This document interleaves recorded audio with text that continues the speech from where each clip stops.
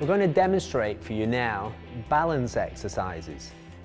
The aim of these exercises are to improve your ability to maintain your body alignment when performing simple daily tasks.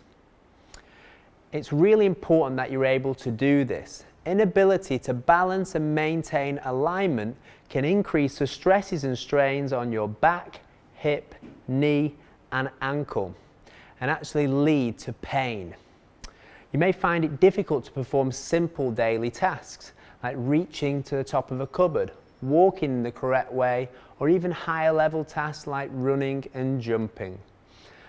Your balance system is vital and it's vital that you can maintain this alignment and control because this will ultimately reduce the stresses and strains being placed on these joints and actually reduce your pain. Now the key with this exercise is technique and that's what we're going to talk to you about now. Now there's six stages to this exercise. The first is narrow stance balance and it's important that you can pass the goals on each exercise before you progress through the stages. So Pete, you're stood there with your feet close together. I want you to focus on contracting the buttock muscles, chest out and back straight and you need to be able to maintain this position for at least 30 seconds without any body sway before you can progress to stage two of the balance exercises. Stage two is in the same position, but this time you're closing your eyes to add more of a challenge. So Pete, if you can do that now, and you can see that challenges you a little bit more. Once you're able to do this for 30 seconds, you can now safely pass on to the single leg balance exercises. Pete, if you raise your non-affected leg out behind you, and again concentrate on working on the glute muscles and keeping your shoulders back and chest out. And you need again to be able to maintain perfect alignment for 30 seconds in this exercise. Moving on to the next stage, standing on one leg, Pete, and actually turning your head from side to side. As you can see, this adds more of a, a balance challenge and it's something that's quite functional.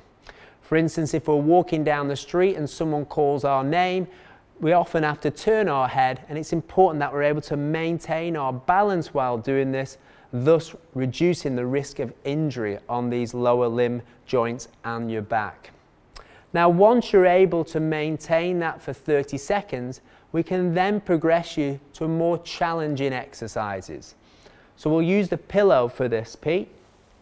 If you'd like to step onto the pillow there. And we're going to repeat these exercises again. So, standing on one leg, maintaining your balance, and again, contracting the glutes, chest out, shoulders back, and being able to do this for 30 seconds. And then finally, doing the exercise where you turn your head from side to side. Again, the same applies, being able to control this for 30 seconds uh, and that will push you a little bit more. Now, if you're struggling to maintain these exercises, you may want to use light support of either a chair or the wall next to you. But if you're still struggling to perform these exercises with the correct technique, you may want to consult your physiotherapist. Now, we recommend that you aim to balance for uh, each time for approximately 30 seconds and repeat this at least three times. Alternatively, listen to the instructions given to you by your physiotherapist. Now, it's important that you feel your muscle systems working around your glutes and your uh, core muscles.